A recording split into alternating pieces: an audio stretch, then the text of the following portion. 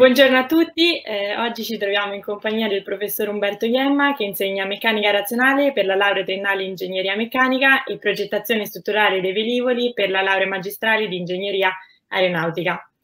Buongiorno, Buongiorno. professore. Ora eh, le chiederei di raccontarci qualcosa sull'insegnamento di progettazione strutturale dei velivoli. Sì, progettazione strutturale di velivoli è uh, un esame del secondo anno, secondo semestre del secondo anno di, della magistrale in ingegneria aeronautica.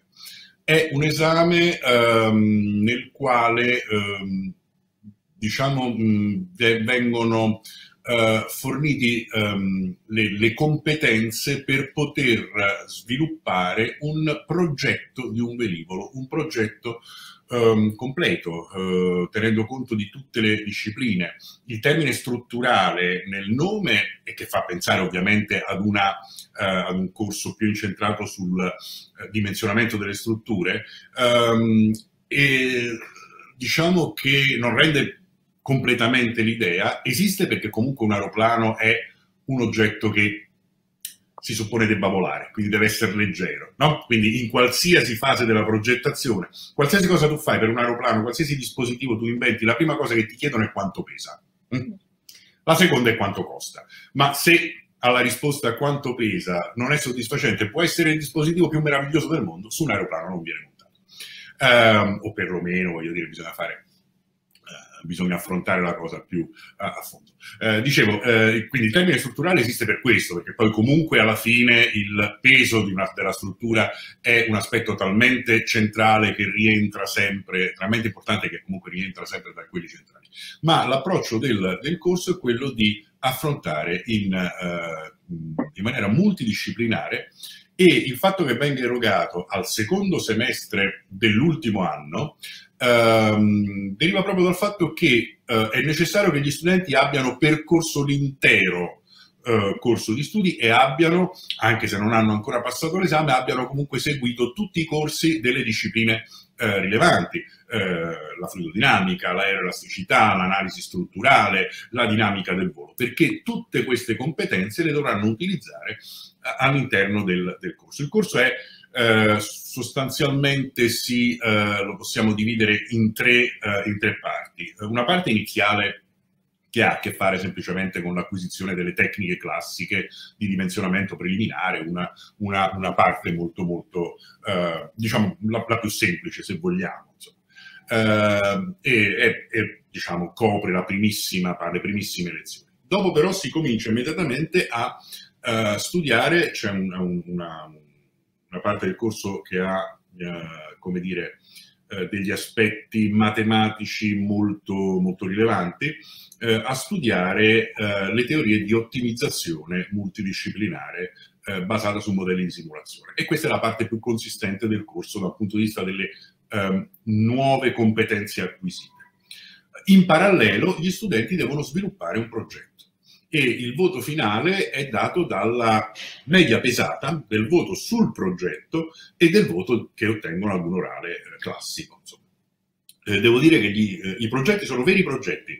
Eh, in passato posso dire che per esempio alcuni dei progetti sviluppati dagli studenti nell'ambito di progetti di ricerca europea sono stati accettati come eh, base di partenza per un reale progetto di un velivolo innovativo che viene attualmente studiato. E, quest'anno, per esempio, hanno, i ragazzi hanno fatto dei progetti molto molto interessanti. Adesso eh, prima o poi li ehm, eh, diciamo, metterò dei poster relativi su un sito che avevano a che fare con i problemi eh, attuali.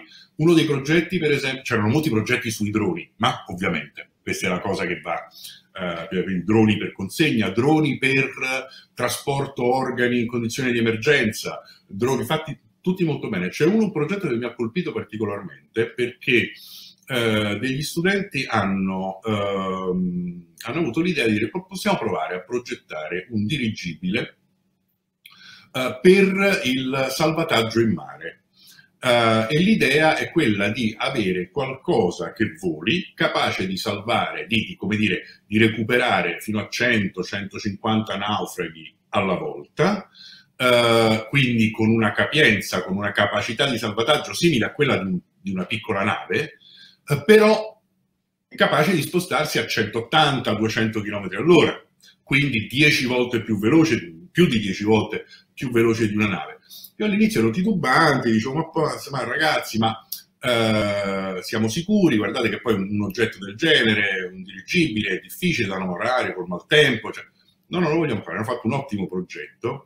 E una cosa che mi ha anche in parte quasi commosso è che proprio il giorno in cui hanno presentato il progetto è arrivata la notizia di quella tragedia che c'è stata nel canale di Sicilia, eh, che era, è, è stato un, in quel caso quel dirigibile li avrebbe salvati. Il tempo era buono, erano un centinaio di persone e semplicemente eh, le navi non hanno fatto in tempo. No? Questa è una cosa che mi ha veramente colpito. E eh, una delle cose alle quali tengo quando quando parlo con i miei studenti, è di ricordare che l'ingegnere è un tecnico, ma è un tecnico che opera nella società civile, quindi deve essere connesso con le esigenze della società. E, e quindi questo è un esempio che mi ha fatto veramente, è stato veramente un piacere uh, trovare, vedere quella, uh, quel progetto quest'anno. E basta questo. Grazie, grazie professore per questa esauriente risposta. E ora le chiederei di raccontarci qualcosa invece sulle sue attività di ricerca.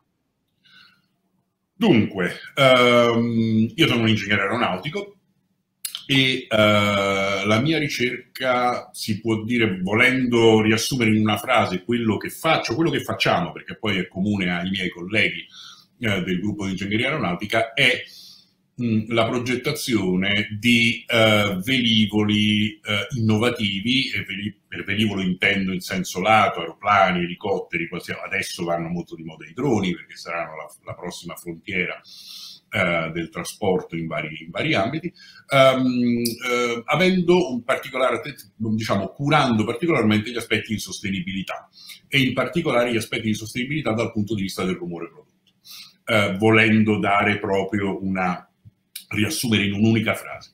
Poi in realtà questa, questa attività si sviluppa attraverso diversi temi. Uh, in grandi linee le, uh, i, i, due filoni dei quali mi occupo con i miei collaboratori sono uh, la progettazione e lo sviluppo di eh, modelli per eh, l'identificazione di materiali innovativi non esistenti in natura che permettano di, avere, di, eh, di costruire dei dispositivi con una risposta eh, acustica ehm, non convenzionali, i cosiddetti metamateriali. E Cosa ci serve questo? Ci serve perché con questi metamateriali si possono costruire dei dispositivi che installati su un aeroplano possono ridurre il rumore che viene emanato e ridurre la porzione del rumore che viene propagata verso terra, quindi sostanzialmente migliorare, renderli più silenziosi e più sostenibili. Uh, l'altro grosso filone di ricerca è quello dell'ottimizzazione multidisciplinare, Uh, ancora una volta uh, la mia attenzione è su aeroplani, su cose che volano, ma questo è, una, diciamo, è una, Uh, è un tema che si può applicare a qualsiasi sistema complesso, uh, l'aumentare della complessità dei sistemi, l'aumentare dei vincoli in termini di sicurezza, affidabilità, redditività economica anche, sostenibilità ambientale, impongono che qualsiasi sistema complesso venga affrontato fin dalle primissime fasi di progettazione con un approccio multidisciplinare.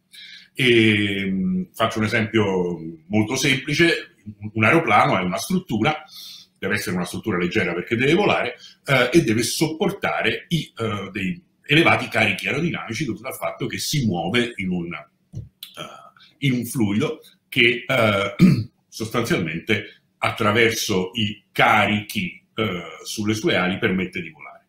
Bene, anticamente, diciamo, inizialmente eh, l'analisi era sostanzialmente eh, suddivisa tra esperti di aerodinamica, di aerodinamica che studiavano i carichi aerodinamici appunto eh, sulla superficie dell'ala eh, necessari a volare e poi gli strutturisti che prendevano dal, dal, dagli aerodinamici questi carichi e facevano in modo che la struttura potesse resistere.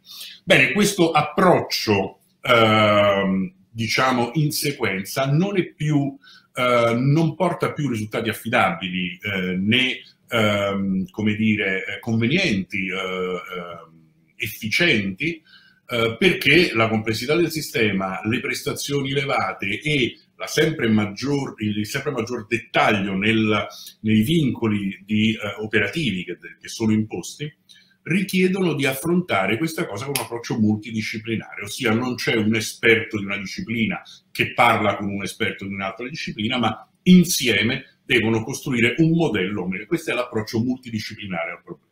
L'ottimizzazione è perché alla fine con questo approccio multidisciplinare si cerca il meglio di un qualche fattore di merito. Potrebbe essere, non so, eh, il più basso consumo di carburante, eh, la massima efficienza aerodinamica.